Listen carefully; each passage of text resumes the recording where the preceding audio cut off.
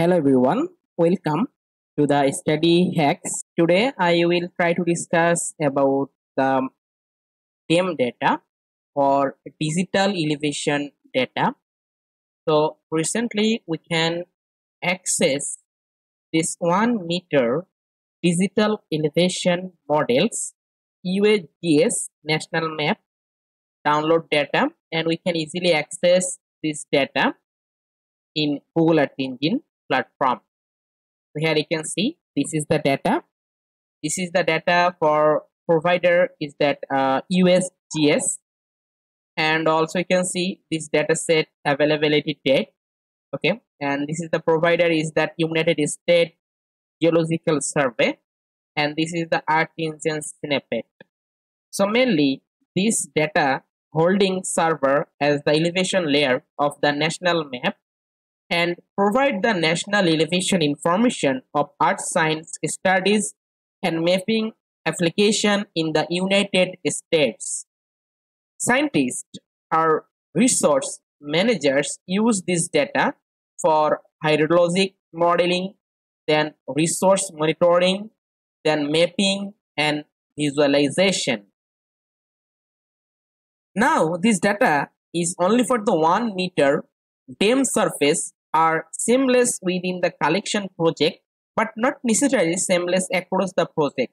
Okay, we can easily access this data set and before we can use here this data set only for the 10 meter data set. Okay, so this data set is only used for the United States, this national map.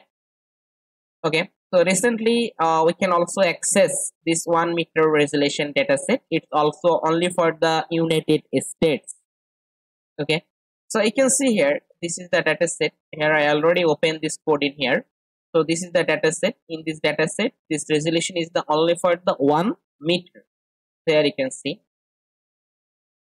This, this is the dataset. We can easily access this dataset. I simply click on the console tab and click on the any portion uh, inspector tab and click on the any portion of the map. You can see I can get the elevation result about this. You can see this point elevation is that when I click here I can get the elevation like this okay? So now this data set is available only for the United States uh, for different types of hydrological model development and other tasks. And also you can see this is another data set so mainly this dataset is the 10 meter dataset, elevation dataset. Uh, we can easily use this dataset for making the hillshade map, then salt map, then aspect map, and we also do for the lot of hydrological modeling using this DEM data. So in this time here you can see here I add here the some uh, tags. You can see this is the elevation data. Okay, so this is our DEM data for the United States and this resolution is only for the 10 meter. And now they are also uh, increasing this resolution and then move created the 1 meter resolution this dataset. And this dataset is also available in this time in uh, Google Earth Engine dataset. You can see this is the dataset uh, available in here. So mainly this dataset is only used for United States and this is the national map and provide the funda funda foundational elevation information of the earth science studies and mapping application in the United States. Okay, and this is the same way for the 10 meter resolution uh, DEM data, and it's also provide the United States um, data set. Okay, so here you can see uh, I using this data set I simply tag some do you can see here I created the hillshade map and salt map. You can see this is the salt map of the United uh, States, this DEM data I use for making the salt map. Also, you can see this is the hillshade map.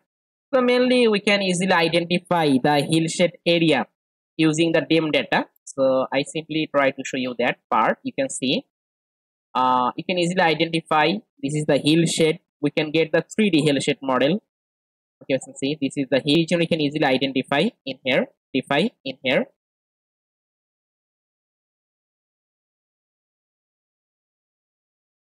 You can see. This is the hilly region. We can easily identify the hillshade area map.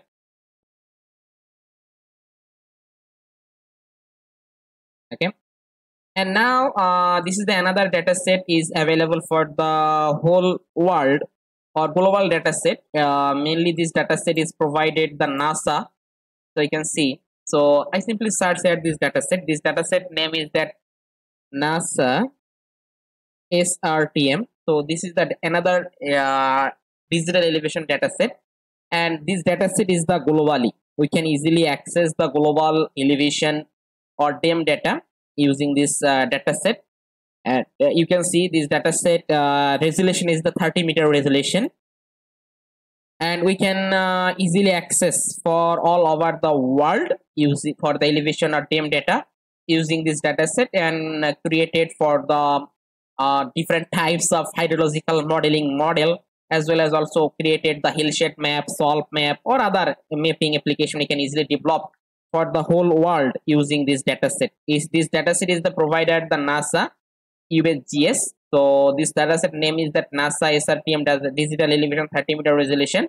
Mainly this dataset is the globally. We can easily access this data for the global and we can easily uh, uh do for the different types of hydrological modeling as well as also do for the different types of uh, hillshade map, salt map for all, all over the world. Okay.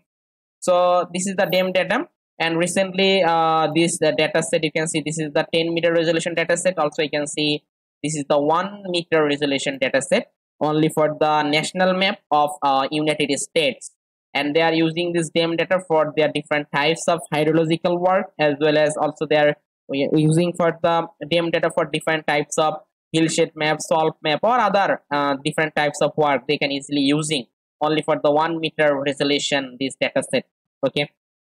Okay so if you have any question or any doubt about this data set you can uh, comment in this uh, video this uh, video comment box. I also try to discuss uh, about this later okay and in this time i also put you another announcement is that our online training program so our online training program is uh, this registration is the open now okay so here you can see this is our online training uh, program uh, conducted by the uh, Institute, Institute of GIS and Remote Sensing.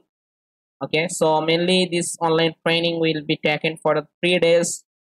So this training will be start from the 5th July and uh, in this online training course I only focus for the beginners who don't have any programming language or who don't have any Google Earth Engine platform, I focus only for this person who don't have totally zero knowledge about the programming. Okay.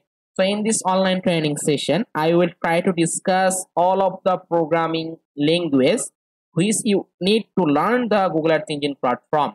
And uh, this course I offer only for the beginners who don't have anything about the programming language, then uh, Google Earth Engine platform, zero knowledge. Okay. So in this course, you can also get the course certificate after completing the three days online training session.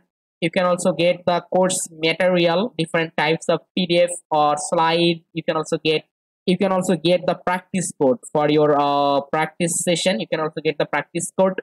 You can also get the recorded video classes. You can also get the lifetime teaching support from me. Okay. So mainly this is our online training session for the beginners who don't have the any knowledge on uh, Google Earth Engine platform or programming language. And in this course, I will try to discuss all of the beginners. So, as a beginners, if you want to learn the Google Earth Engine platform for remote sensing analysis, you can just contact with me this WhatsApp number as well as you can also contact with me this email. Okay. And uh, in this time, uh, for the register first five people get a 50% discount. So if you want to need this 50% discount as soon as possible you can just contact with this number and email and book your seat. Okay? So this is our online training for a beginners who don't have anything about the Google Engine platform and programming language. And we have also offered the another training is that for the land, land use and land cover classification with change detection time series analysis using the machine learning method. So mainly in this course here you can see this is the uh, this course will take online training will be taken for the uh, 4 4th uh, august. So you can easily register for this course if you want to learn the land use and land cover classification with sense detection time series analysis using the machine learning platform so mainly in this course i will try to discuss all of the land cover classification how you can easily make the land cover classification map with change detection how you can easily use the different types of uh, machine learning methods supervised and supervised how you can easily use the different types of uh, classifier random forest then classification and regression trees then minimum distance and how you can easily calculate the area and finally how you can easily make the accuracy assessment of land use uh, mapping and change detection okay? So and finally how you can easily do this?